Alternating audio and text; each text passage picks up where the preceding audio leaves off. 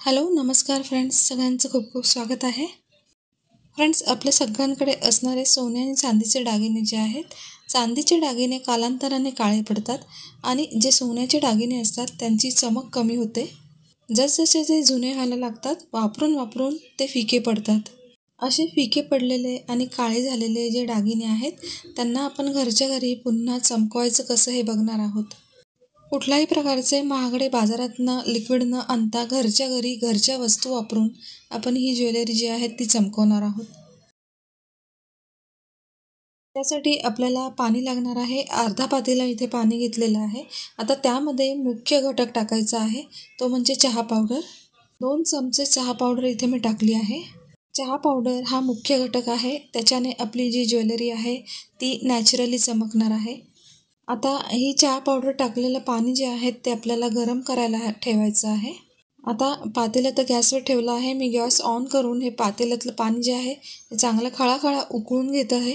चहा पावडर पाण्यामध्ये चांगली उकळली गेली आहे. त्यामुळे मी आता गॅस बंद केला आहे.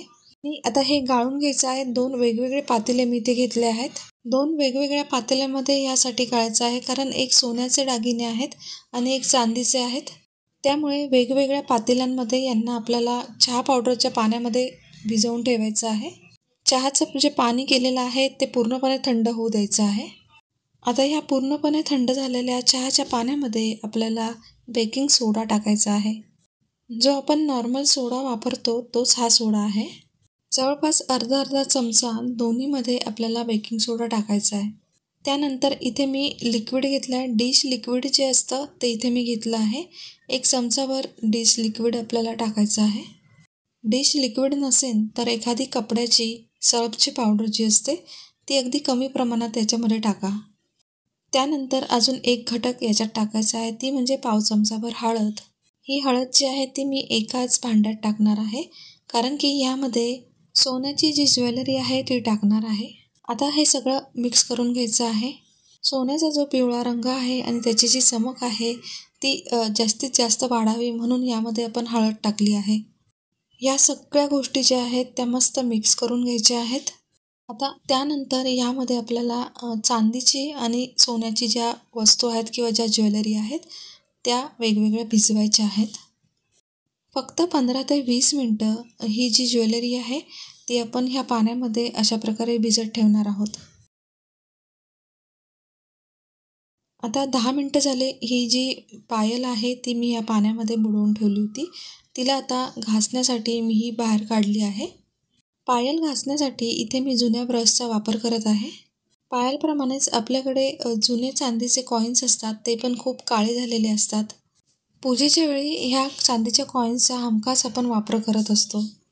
तर असे कॉईन्स जे आहेत ते पण आपण ह्या पाण्यामध्ये बुडवून ठेवू शकतो. ते पण अगदी स्वच्छ आणि चमकदार होतात.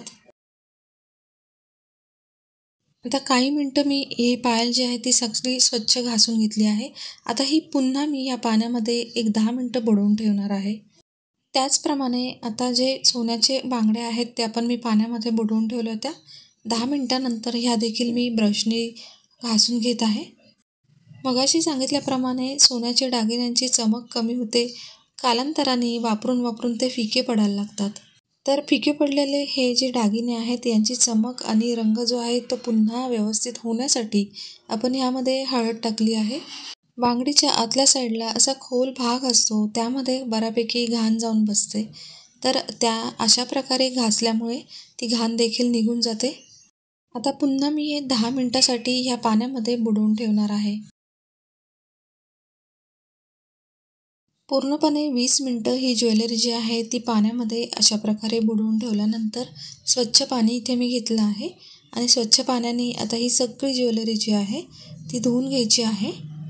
चहाचं पाणी करून आणि इतर जे घटक पदार्थ टाकून आपण ही ज्वेलरी रोजच्या वापरायची या पाण्यामध्ये भिजवून ठेवल्यामुळे आपली जी ज्वेलरी आहे ती एकदम स्वच्छ आणि चमकदार होते.